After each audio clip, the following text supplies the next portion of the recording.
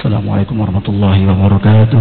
Demi Allah, demi Allah saya katakan kalau orang ke masjid mencari materi, kosong masjid. Termasuk ustaz. Sama, antum ke masjid mau ngajar, mau nyari amplop.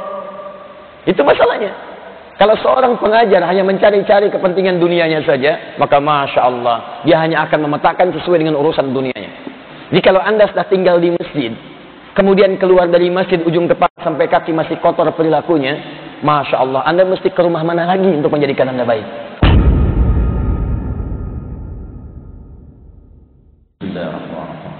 Assalamualaikum warahmatullahi wabarakatuh. Alhamdulillahi rabbil alamin. Wassalatu wassalamu ala rasulillahil karim wa ala alihi wa sahbihi ajma'in.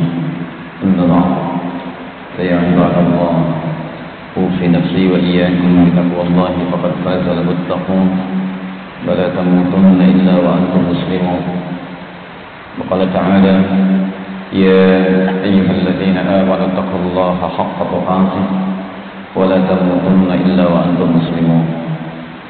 وقال يا أيها الناس اتقوا ربكم الذي خلقكم من نفس واحدة وخلق منها زوجها وبث منهما رجالا كثيرا ونساء واتقوا الله الذي تساءلون به والأرحام إن الله كان عليكم رقيبا Saudara-saudariku dan pemirsa TV di mana anda berada, Alhamdulillah kita diberikan kesempatan oleh Allah Subhanahu Wa Taala hari ini Sabtu 20 Rabiul Awal 1439 Hijrah untuk kembali mencari bekal-bekal terbaik dalam kehidupan kita menutup segala kekurangan yang telah kita evaluasi di hari-hari lalu dengan itu insya Allah saat kita kembali pada Allah Subhanahu wa taala sudah dalam keadaan yang terbaik insyaallah.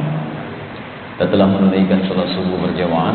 Kita bermohon pada Allah Subhanahu wa taala semoga salat yang telah kita tunaikan diterima oleh Allah Subhanahu wa taala dengan penerimaan terbaik insyaallah. Saya mendengar ini juga diawali dengan mabit tadi malam insyaallah dari sekian hamba Allah yang beraktivitas ada yang mabit di masjid. Mabit akar katanya itu ada turunan yang melahirkan kata baik nanti dari pastinya. Bata yabitu baitan nabit.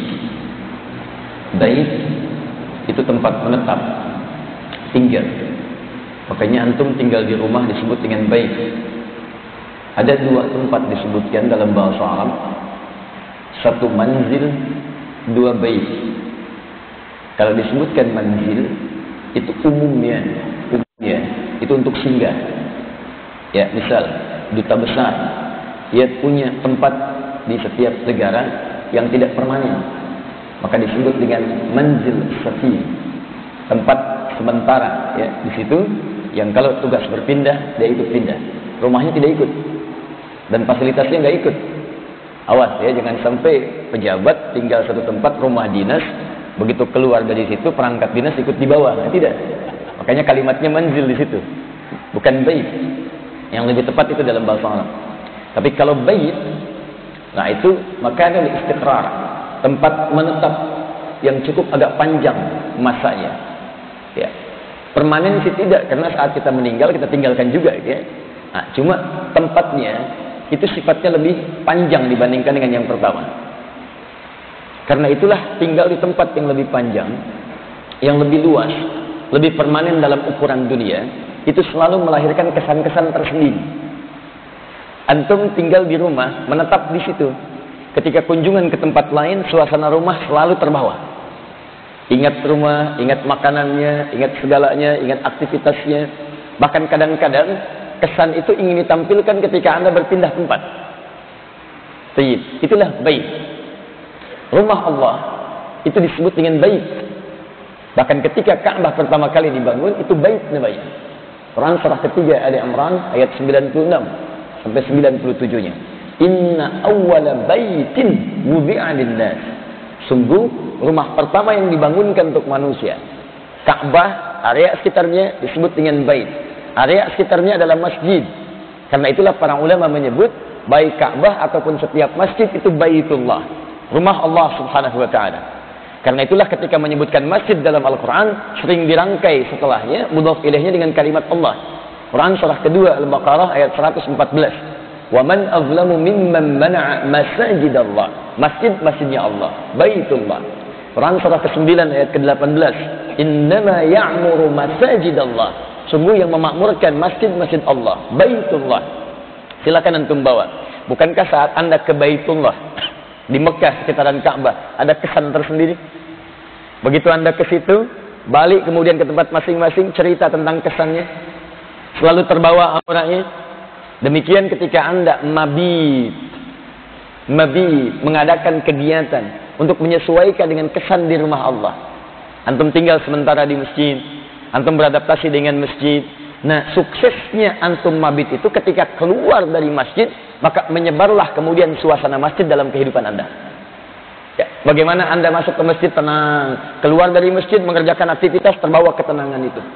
Anda di masjid terlatih untuk zikir kepada Allah, maka suasana zikir di bawah. Saat kerja Anda ingat dengan Allah, di rumah tangga Anda ingat dengan Allah, berjalan Anda ingat dengan Allah. Itulah hakikatnya ketika Anda ingin mabit, Anda menepikan sementara dunia, fokus pada kepentingan akhirat. Nah, nuansa akhiratnya dibawa kemudian setelah keluar dari masjid untuk mengikuti aktivitas dunia kita. Itu yang dimaksudkan.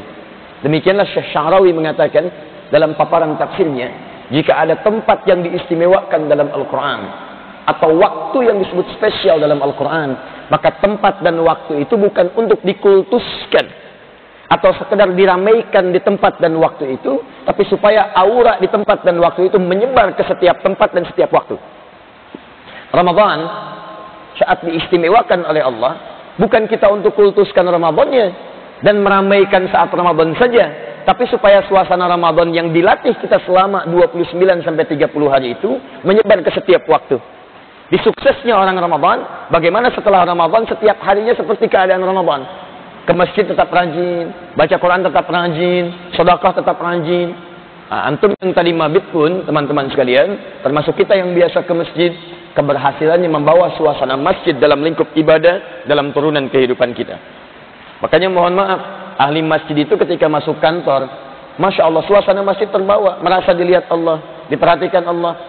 Karena itu sering saya katakan, mustahil tangannya itu bisa berbuat maksiat. Karena malu ahli masjid kok tanda tangan proyek yang tidak jelas.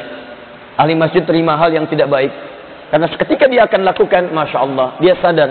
Allah subhanahu wa ta'ala melihat dia. Ada aura tersendiri.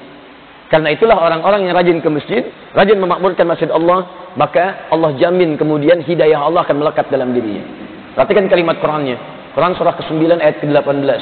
Innama ya'muru masajid Allah من آمن بالله واليوم الآخر وأقام الصلاة وآت الزكاة ولم يخشى إلا الله فعسى أولئك أن يكونوا من المهتدين.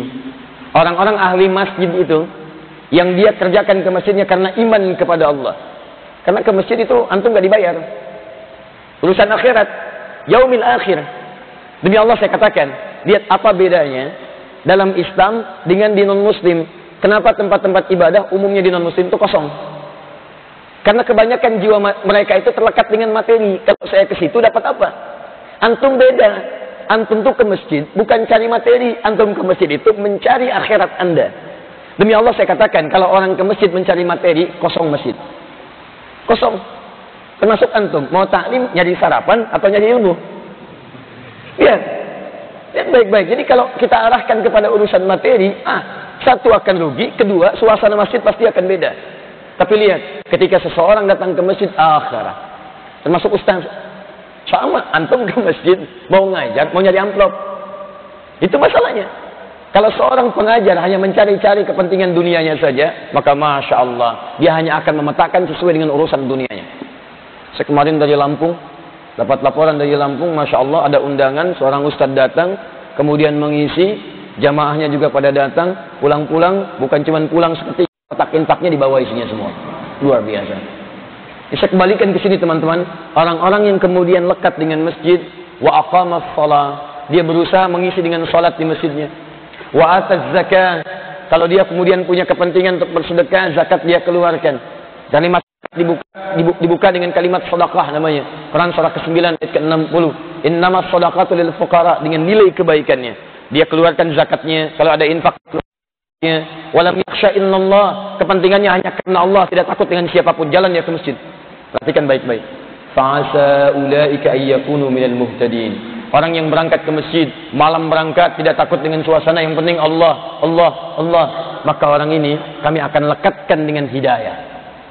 Ulaika ayyakunu minal muhtadin. Bahkan kalau lekat ibadahnya semakin kuat. Salat tadi dikerjakan. Zakat turunannya infak dikerjakan. Kira Quran dikerjakan. Maka pindah ayatnya dari sini ke Al-Baqarah ayat 2 sampai 5. Zalikal kitabu la raiba fi hudan lil muttaqin naik statusnya dari ahli masjid jadi ahli takwa. Siapa ahli takwa ini? Bagaimana bisa memahami itu? Baca ayat 3 sampai 5-nya sehingga tidak terputus di situ. Alladzina yu'minuna bil ghaib wa yuqimuna shalah. Iman tunaikan salat. Wa mimma razaqnahum yunfiqun. Infaq. Walladzina yu'minuna bima unzila ilaik. Interaksi dengan Al-Qur'an. Wa bil akhirati hum yuqinun. Wa ma unzila min qablik wa bil akhirati hum yuqinun. Pekerjaannya dikerjakan untuk urusan akhiratnya. Ahli masjid. Lihat ayat 5-nya ulaika ala hudan. Orang-orang yang bisa konsisten menunaikan ini, maka kami lekatkan hidayah pada mereka. Lekatkan. Kalimatnya menggunakan ala. Ini ada gelas. Di, di atas meja. Ini di mana gelasnya? Di atas meja. Apa perbedaan yang pertama dengan yang kedua? Satu di atas, kedua menempel. Dalam bahasa Arab, sesuatu yang berada di atas tapi masih ada jaraknya, itu disebut fauqa namanya. Fauqa. As-sama fauqa al-ardi. Langit di atas bumi, karena langitnya nggak nempel dengan bumi. Ada jarak. Tayyib. Al-kum anil maktab, bukan fauqa. Ini gelas sekarang di atas meja cuma nempel ke meja.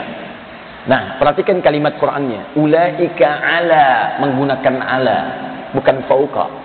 Ini ingin memberikan kesan bahwa orang-orang yang melakukan aktivitas tadi, apalagi dikerjakan di rumah Allah dengan mabitnya tadi, maka ala hujan, hidayah Allah nempel dalam kehidupannya. Jadi ketika melihat, Allah memberi petunjuk pada penglihatannya. Melihat yang tidak baik, dia palingkan. Ketika mendengar, Allah berikan hidayah pada telinganya. Yang tidak baik, gak bisa dia dengar. Yang baik-baik, baru masuk. Allah berikan hidayah ke tangannya. Maaf, maaf. Yang tidak baik, gak bisa bergerak. Yang baik-baik, baru dikerjakan.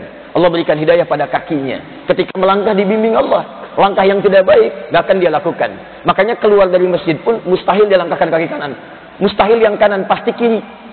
Silakan antum cek. Begitu keluar, pasti kiri. Begitu kanannya masuk, dia akan balikan lagi seperti ini. Kirinya yang dia keluarkan. Kenapa? Hidayah Allah sampai di kakinya. Kalau hidayah Allah sampai dalam tubuh kita maka masya Allah wa ulaika humul muflihun. Itulah orang yang paling bahagia dalam kehidupannya. Karena semua perangkat tubuhnya hanya akan hadir mengerjakan yang baik-baik. Ya. Ah, maksud saya coba dites mabitnya antum malam itu menghasilkan nilai-nilai itu atau tidak. Jadi kalau anda sudah tinggal di masjid, kemudian keluar dari masjid ujung kepala sampai kaki masih kotor perilakunya, masya Allah, anda mesti ke rumah mana lagi untuk menjadikan anda baik. Tapi anehnya begini, dari sekian orang yang hidup, Anda yang terpilih untuk mabit di masjid. Itu tandanya Allah ingin merubah Anda menjadi orang yang terbaik dalam kehidupan. Kalau sudah dikirimkan sampai ke rumahnya, Anda belum tergerak untuk jadi baik, Anda mesti ke mana lagi teman-teman sekalian? Lihat ya. Thanks for watching.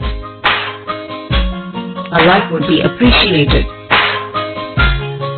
And don't forget to subscribe.